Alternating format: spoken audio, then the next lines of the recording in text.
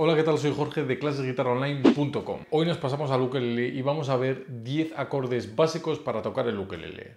Bueno, el primer acorde que vamos a aprender va a ser el Do mayor.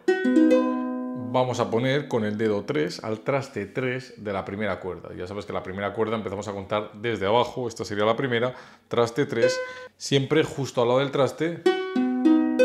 Y hay que intentar que el dedo no caiga así, sino que caiga en punta. Todos estos acordes los vamos a poder hacer luego con distintos dedos, ¿vale? Entonces practícalo, en este caso con el dedo 3, pero también con el dedo 2 o incluso con el dedo 1.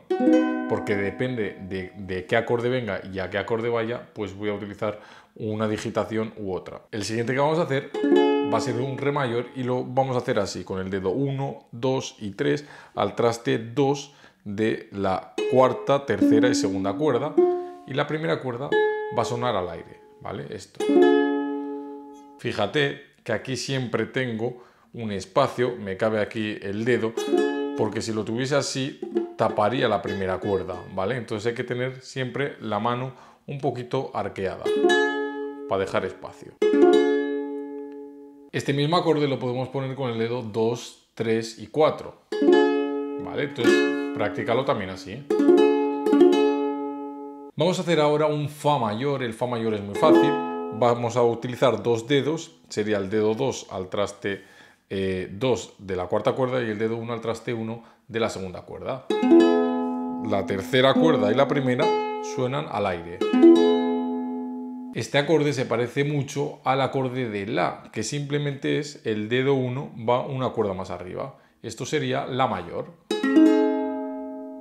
El siguiente acorde que vamos a ver va a ser un Sol mayor y lo vamos a poner con el dedo 1 al traste 2 de la tercera cuerda, el dedo 3 al traste 3 de la segunda cuerda y el dedo 2 al traste 2 de la primera cuerda y la, primera, y la cuarta cuerda perdón, al aire.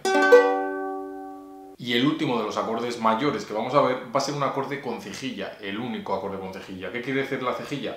Que vamos a tapar con el dedo 1, ¿vale? En este caso el traste 4. Entonces, con el dedo 1 vamos a tapar todo el traste 4. Esto es lo más complicado porque hay que hacer más fuerza con este dedo y pues se complica un poco el asunto, ¿no? Y ahora con el dedo 4 vamos a poner en este caso al traste 7 de la primera cuerda. Esto es un acorde de Mi mayor. Aprovechamos también que tenemos este acorde con cejilla para saber que si esto yo lo llevo un traste más arriba, va a ser un Fa mayor luego un Fa sostenido mayor, Sol mayor, etc. Es decir, transporto todo mmm, semitono a semitono. Y ahora los últimos cuatro acordes que vamos a ver van a ser acordes menores. Los acordes menores suenan como un poco más triste, ¿vale? Vamos a ver el primero, el Re menor. El Re menor vamos a hacer así, dedo 2, traste 2 de la cuarta cuerda, dedo 3, traste 2 de la tercera cuerda y el dedo 1 al traste 1 de la segunda cuerda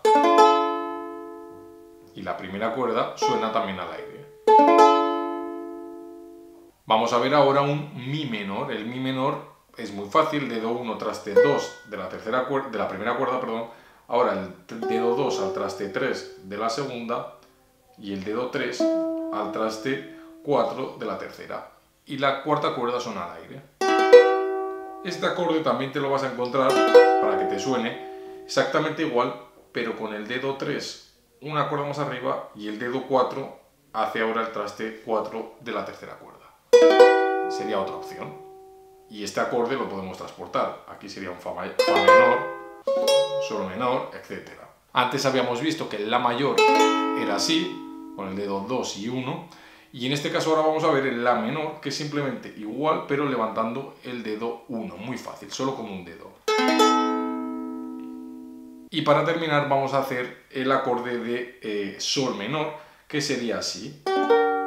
Sería dedo 1 al traste 1 de la eh, primera cuerda, dedo 3 o el dedo 4, como quieras, al traste 3 de la segunda cuerda y el dedo 2 al traste 2 de eh, la tercera cuerda.